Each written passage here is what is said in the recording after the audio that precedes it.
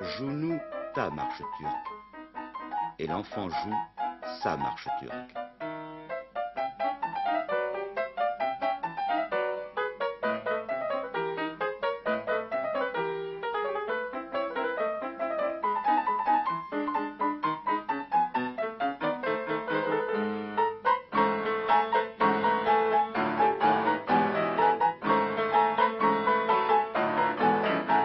Que se terminent en général les leçons de piano des enfants sages.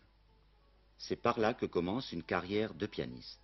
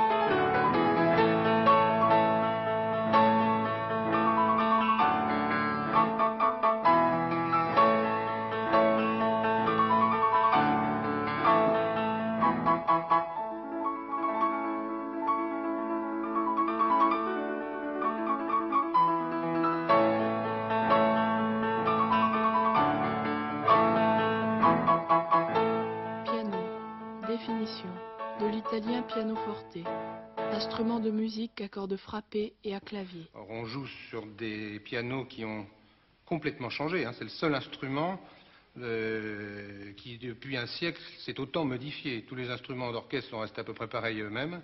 Le piano, depuis Beethoven, ça n'a presque plus rien à voir. Les ancêtres directs du piano, le clavicorde et le clavecin, naquirent en Europe à la fin du XIVe siècle. Je voudrais vous expliquer la différence principale entre le clavecin et les autres instruments surtout les fortes pianos et les pianos modernes. Sur le clavecin, on produit une sonorité très pleine, très belle, comme celle-ci. Le pianiste Paul Badura-Skoda vit près de Vienne. Il a collectionné clavecins et pianos et nous raconte leur histoire.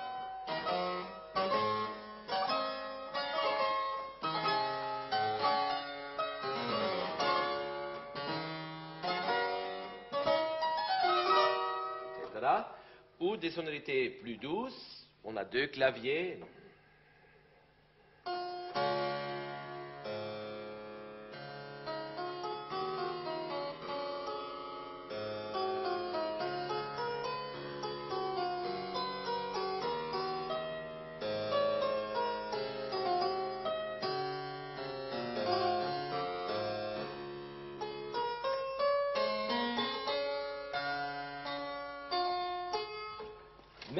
Peut pas changer la sonorité d'une seule note, euh, sauf par le registre. C'est-à-dire, je peux jouer la note euh, forte au piano, mais ça ne change rien. C'est-à-dire, je peux attaquer comme ça ou comme ça, on a la même intensité de sonorité.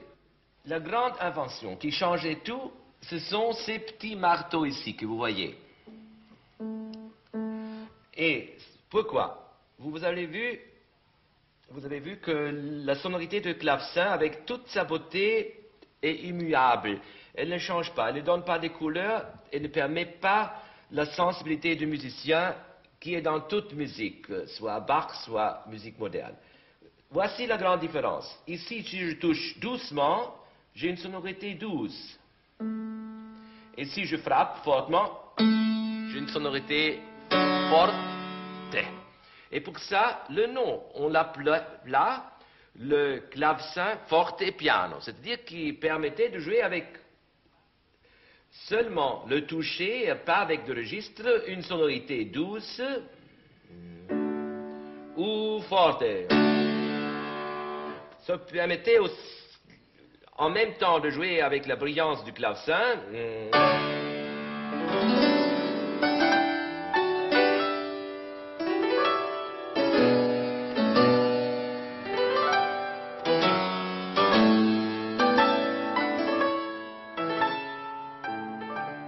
Mais je peux faire ce diminuendo et je peux jouer Mozart. Je commence par la fantaisie en ré mineur.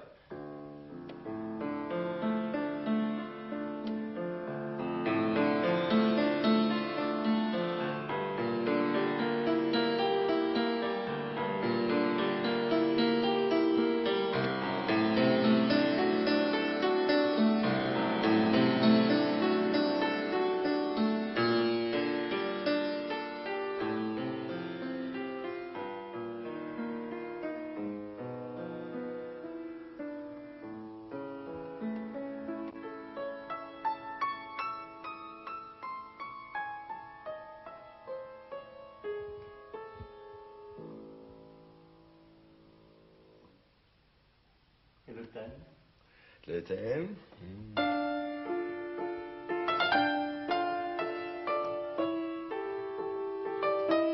Voilà un piano qui chante.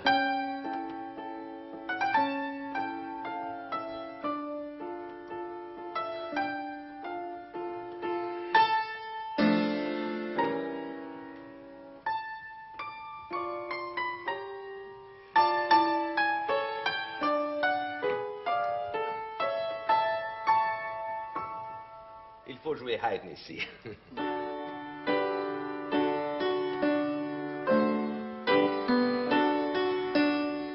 Il aimait ce piano. Il y a une lettre où il recommande à une de ses admiratrices de choisir d'acheter un piano de Schantz, qui était le meilleur facteur de piano de Vienne de cette époque.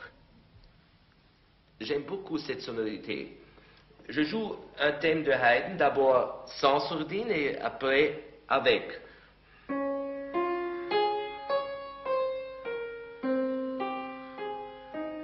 Haydn a sans doute demandé au piano de nouvelles idées sonores.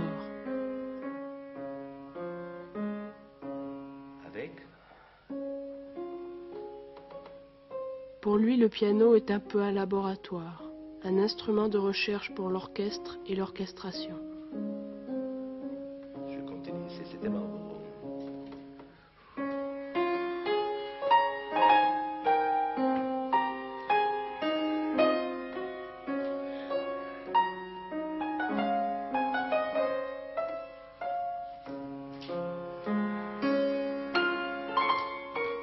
Faudra attendre Littré, 1866, pour rencontrer au mot piano une définition d'où sera bannie la référence au clavecin.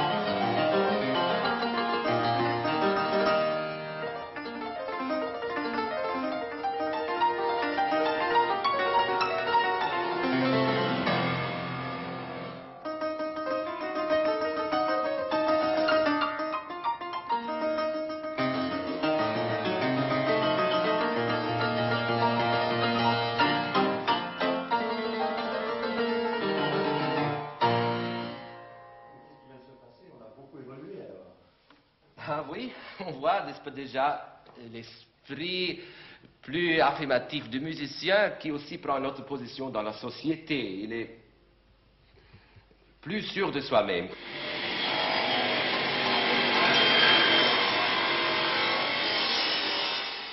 À Vienne, aujourd'hui, dans une grande fabrique de pianos.